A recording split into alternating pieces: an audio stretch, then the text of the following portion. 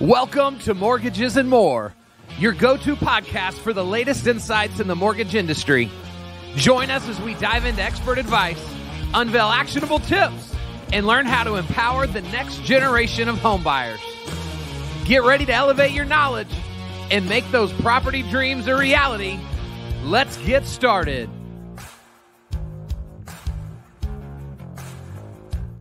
What is up, everybody? Welcome back to our 30 and 30. It's January. We're getting closer and closer to February, which is when our brand new book is coming out. Title pending. but we're excited, Brian. I'm excited for our guest today. Oh yeah, this is uh, this is always a treat for me. Um, Christopher and I met at a, uh, a, a mortgage conference back in my former life um, back in your former life too, uh, I believe. And uh, I've come to know Christopher really well. He is probably the most passionate professional in our industry who's focused on doing things right for, for our veterans, those who served. Um, and I'm proud to be a, a partner with Chris's organization, Vetted VA, and super excited to have you, Christopher, be part of our project to help educate the next generation loan officer. Thank you. Yeah, certainly. My pleasure. Now, you know, pick to write a chapter in a book. a couple of my teachers rolling over in their graves. hey, there's a few of us that have the same uh, the same thing going on. Well, let's let's uh, let's let's tease it out a little bit. Let's share with our audience, you know, what what they're in for. Don't give it away. Don't give away all the all the goods, but just kind of talk to them a little bit about what you're going to be sharing in your chapter of the book. Yeah, certainly. And uh, thanks for having me on here. Um, I think a lot of I run into a lot of professionals at least that have a desire to serve veterans. Right? They want to uh, be able and capable of working with them more frequently, and not only that, but doing a good job with it. Uh, so, for my part in the book, I'll be discussing what you can do as a professional to actually really become proficient uh, at serving veterans, at understanding the different you know circumstances veterans go through and what opportunities they have in front of them and how best you can put yourself in a position so that when they have questions when they're ready they come to you. Love it. And there and there's i i happen to have a pretty good uh, uh visibility into into what christopher's organization does kyle. It's amazing. Uh, they are truly truly leading with education um, but educating those that serve those that served it's it's a it's an mm. amazing mission. Um, so, Christopher, uh, you could have written forever. We know you know we know you love to uh, to scribe. So, you know, had we given you another chapter, maybe another couple thousand words, is there something else that you would have kind of dug deep on and and, and maybe gone another layer uh, layer down? Um, I think probably I would I would go into a little bit more behind, uh, you know, the traditional experience of what veterans go through, why the entitlement exists the way that it does, why it's so flexible, why why it is frankly the best mortgage on earth because of those things. A lot of people don't understand what drove Congress to create the VA loan essentially, um, and how they wanted to impact VA housing and home ownership. Um, I think it's hard to understand if you haven't been through it yourself. So all the veterans that listen to this, or a lot of the veterans that we work with regularly, they get it. They understand, right? Um, you talk about credit issues and those types of problems that are a little bit not just unique to veterans, but the circumstances that cause those certainly are. It's like you run into people that are like, "Hey, I was, you know, 90 days late on my car payment because my auto pay stopped, and I was in Fallujah. Yeah, we didn't have internet. I couldn't hop on there and." Update my banking information, right? So there's these weird circumstances that I think get veterans into you know positions that a lot of people maybe not have uh, have had to work through just yet. And I think it's really important um, not only what what you do as a professional and, and how capable you are at it, but understanding the why behind the, the entire thing. I think paints the picture for a lot of them and, and gives them an opportunity to share that same passion. Because if you're not passionate about what you do, quit and go do something else. Life's too short. You des- you deserve it. You owe it your- to yourself, and the people that you're serving ultimately will understand and see you differently if they know that you're passionate and you care about what it is that you do. Christopher, so, I want to I want to know because I I don't know. Can you give us a little insight into the story, like behind why and how Congress created the VA loan?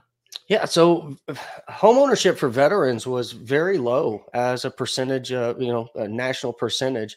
And a lot of the problems that veterans were encountering or encountering were their circumstances were just a lot different, right? From their income structures to, you know, going from a career over here to getting out and then having to restart completely. Their credit stuff um, certainly had some issues around it. The types of housing that they could afford and what was available to them and the things that they desired, uh, the traditional kind of loan options, the conventional loan really at that point, didn't really um, didn't really support the veteran in that circumstance to help them, you know, to become homeowners. It was it was failing, and we saw uh, there was a very large number of, of, veterans that were simply unable to obtain home ownership.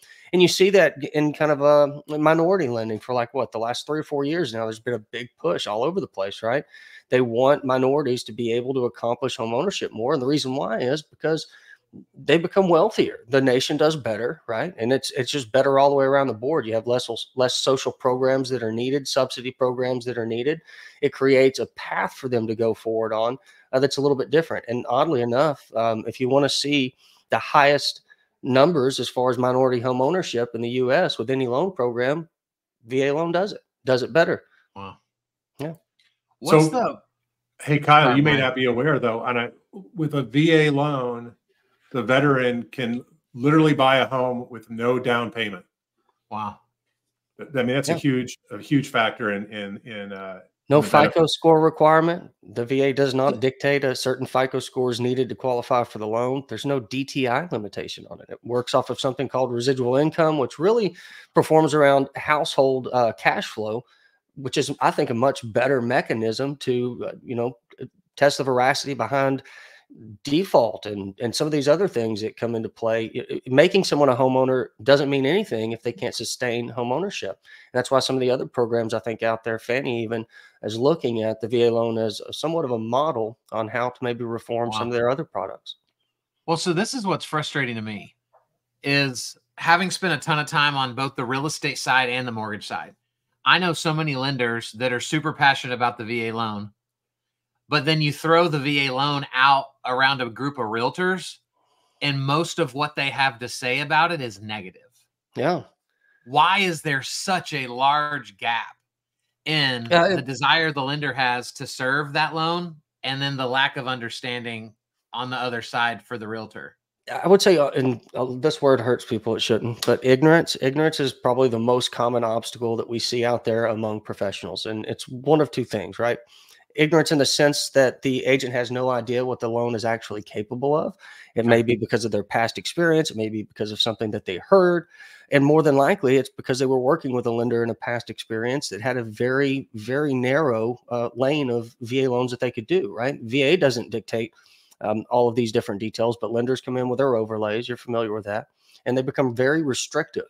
And so the thought process that kind of you know makes it to the industry is that the loan itself is incapable or that the borrower themselves is somehow mm. subpar mm. compared to the other borrowers out there using different loan types which it's just an absolute untruth right you have guys like dave ramsey out there talking about the va loan's terrible he would never use it or advocate for anyone to use it and it's just absolute nonsense he uses and sets up apples to orange situations to compare and contrast different borrower classes uh, and that really like, hey, here's a here's a broke veteran with terrible credit and no opportunity to do anything. That's why you shouldn't use a VA. I mean, it's just they set these fictitious scenarios up to where, of course, when you look at them in that light, they're not going to compare well. Right. And I think that's the same problem that the agents really run into out there is they've worked with bad lenders or lenders that don't know what they're doing, or they just simply haven't been educated. Education is the number one place Huge. professionals need to focus on if they want to serve veterans more.